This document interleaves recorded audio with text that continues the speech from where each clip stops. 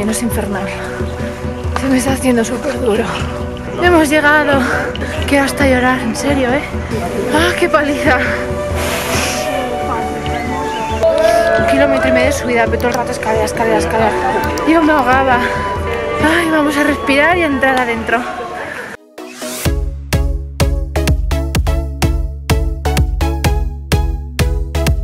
Mira dónde estoy.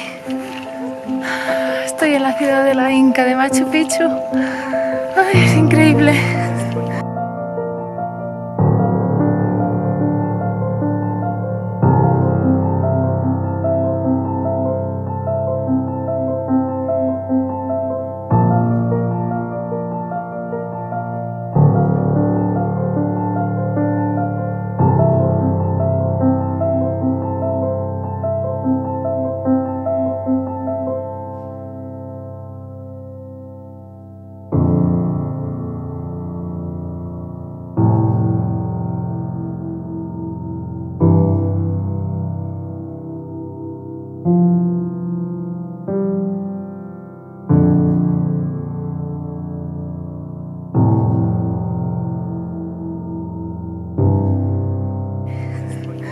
No nos podemos entretener mucho porque tenemos que subir de 7 a 8 a la montaña Huayna Picchu y son las 7 menos cuarto. Y a las 8 además nos han dicho que cierra la puerta y no entra nadie más.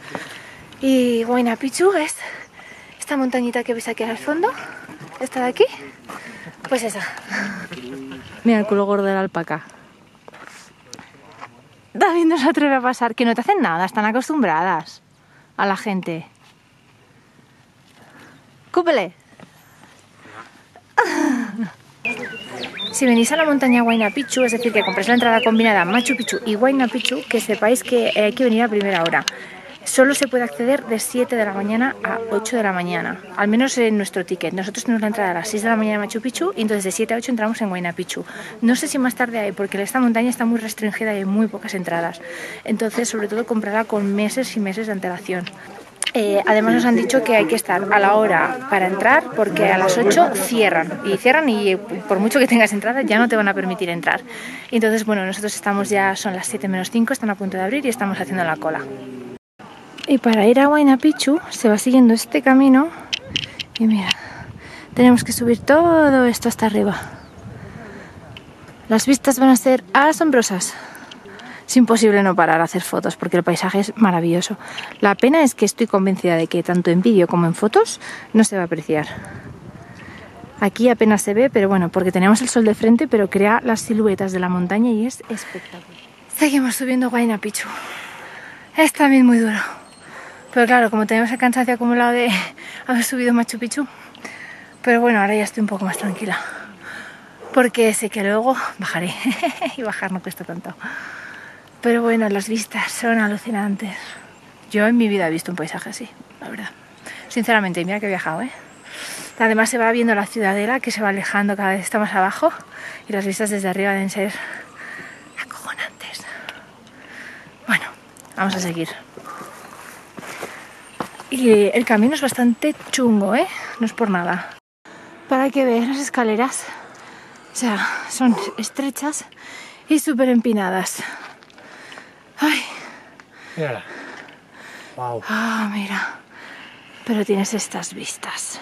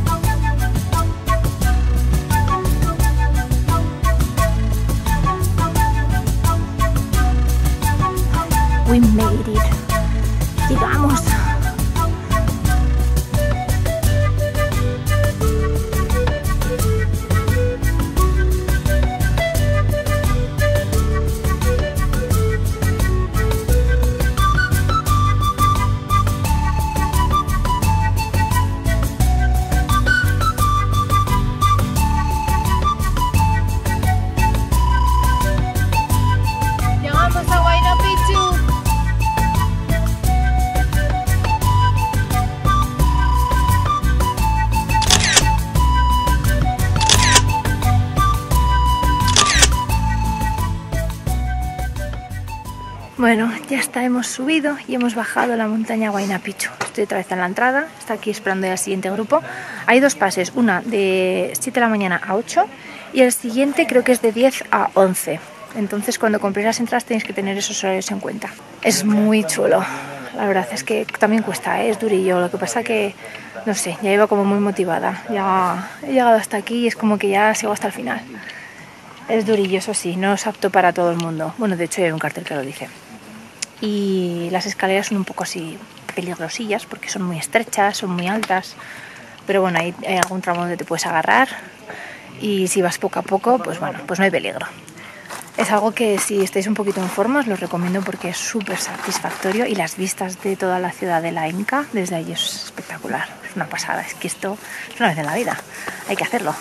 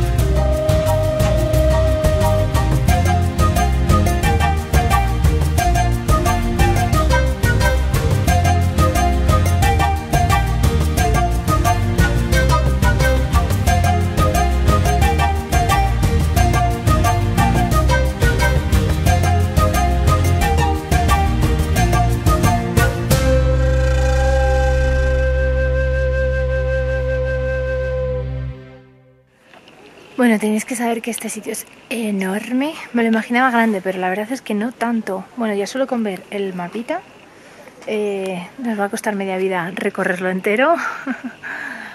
bueno, la idea es que cuando tienes la montaña Huayna Picchu, lo primero que has de hacer nada más entrar es dirigirte todo recto hasta la montaña aquí detrás de Huayna Picchu. Y después, eh, una vez vuelves de la montaña, recorres las ruinas que hay más en la parte de abajo y después vuelves a la parte de, entrada al yacimiento arqueológico y desde ahí puedes ver luego la parte de arriba. Entonces haces como dos circuitos, uno por abajo y otro por arriba. Nos han recomendado también cuando lleguemos a la puerta de entrada coger un guía y la parte de arriba verla guiada. Hacen grupos, debe costar como unos 15 o 20 soles por persona, entonces van formando grupos y o así eh, es más económico que no privado privado debe ser ya como 100 dólares o algo así, pero claro, privado representa que lo tienes toda la mañana, que incluso puedes subir a Huayna Picchu contigo, que no hace falta. Ya sabéis que yo viajo muy low cost. Una argamasa. Si este lugar tenía un techo y no lo han cuidado, obviamente lo abandonaron, cayó el techo y ¿qué ha empezado a hacer? La lluvia ha empezado a impregnar en los muros, por eso es que estos muros se han debilitado más rápido. Pero han visto de la entrada, donde están ahí los jóvenes, han visto esa arquitectura, como ya empieza a cambiar, esa pues ya tiene otro nivel, ¿no? Eso es justamente el sello que han dejado pues los incas. Miren el Templo del Sol, qué maravilla. ¿Mm? Arquitectura inca imperial piedra sobre piedra, no hay argamasa, no hay pegamento. Llueve, torrencial, lo que fuese, ahí no pasa nada. Pero estos muros que vemos aquí, acá a simple vista, tienen que tener también un mantenimiento especial. ¿Por qué no lo reconstruyeron en su totalidad? Porque ya no hay incas, pues, puros incapaces nada más ahora. Ya no hay incas, señor. Ellos han aplicado pues ¿no? parámetros para poder hacer también sus construcciones. Vemos toda una cantera. Señores, Machu Picchu no fue terminado, Machu Picchu todavía estaba en proceso de construcción. Muchos dicen, ¿y por qué no lo han terminado? ¿no? Porque lamentablemente en ese tiempo dos hermanos pues estaban en conflicto. Muchos dicen los españoles, ahí también tuvieron que ver pues dos hermanos por ambiciosos también, ¿no? O sea que han tenido un conflicto, estos dos se han peleado, el, el pueblo se ha dividido, no se podría decir, y bueno, por culpa de ellos pues también que este imperio ha caído. Mira qué preciosas vistas tengo. Ahora sí que estamos en Machu Picchu. Las explicaciones de la guía te hacen ubicarte todavía más. Vemos que tiene unos encasetonados aquí y un dindel circular en la parte superior. Dicen que ese era un sistema de de seguridad, ¿no? Dicen pues que posiblemente acá había una tapa, no una puerta, porque las puertas tienen bisagras, las puertas se abren así. Por el dindel circular este se abría como una tapa hacia arriba. Claro que esto lo dice Jairam Binga, ¿no? Realmente no sabemos si habrán tenido tapas. Ahora, ¿de qué material era el techo? Ustedes abandonen su casa un año, dos años. 500 años, lo primero que se ha caído son los techos, ¿no? Y 500 años de lluvia, de sol, se habrá desintegrado pues todo, jóvenes. No se han quedado residuos, ni de muebles, ni ni de nada, ¿no? Se han encontrado algunos tejidos, mucha cerámica, una momia en la parte superior por el camino inca de una chica y con un esqueleto pequeñito, posiblemente decían que era un perrito se celebran las fiestas del sol, el Inti Raimi. ¿Dónde se celebra esta fiesta? En la explanada de Sacsayhuaman. ¿Qué es lo que se hace? Una escenificación, ¿no? Se sacrifica una llama negra, ¿no? Le sacan el corazón y esto es ofrendado a su deidad suprema, que es el sol. Es una fiesta inca, pues imagínense de qué años, ¿no? Este es el templo de las tres ventanas. Es donde dejó pues nuestro cusqueño, Agustín Lizárraga, su graffiti, ¿no? 1902, que un cusqueño fue el primero que llegó a este lugar. ¿Dónde estaba este graffiti? En ventana de este medio, ¿no? Llega Jairam Bingan y ha querido borrar la evidencia, ¿no? Lo ha borrado, ya no existe el grafiti, ¿no? Pero la foto pues sí fue tomada, señores.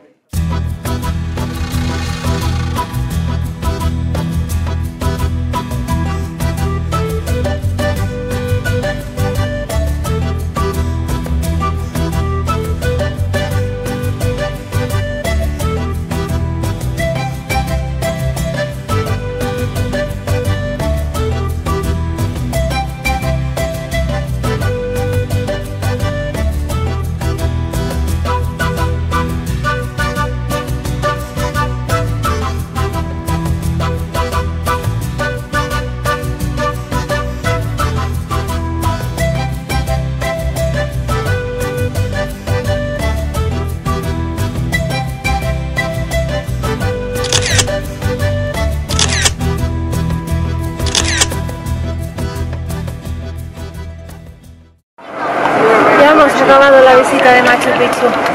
Estamos reventados, súper cansados. Bajamos en el autobús. El ticket lo compramos ayer en la oficina de aquí de Aguascalientes y es bastante recomendable hacerlo con antelación porque se arma una cola brutal aquí arriba para comprar el ticket para bajar en autobús. El precio es de 12 dólares que vienen a ser unos 11 euros o algo así, por un trayecto para una persona. Es decir, ir y venir eh, para una persona serían 24 dólares. Es bastante caro, sí.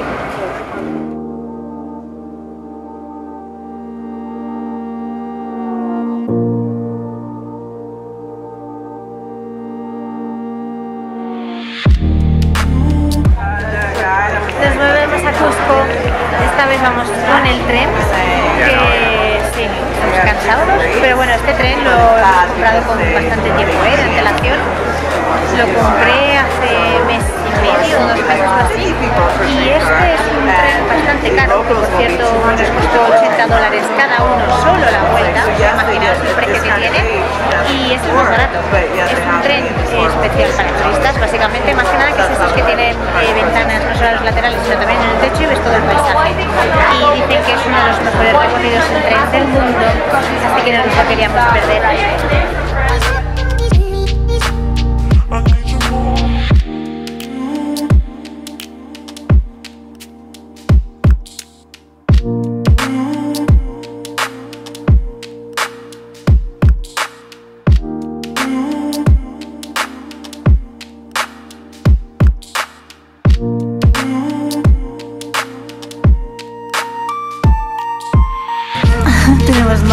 Chocolate.